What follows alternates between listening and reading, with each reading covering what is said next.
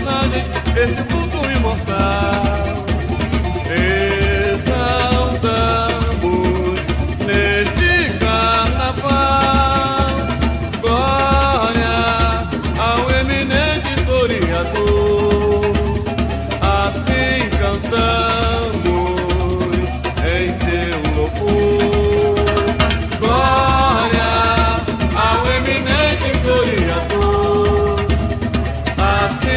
the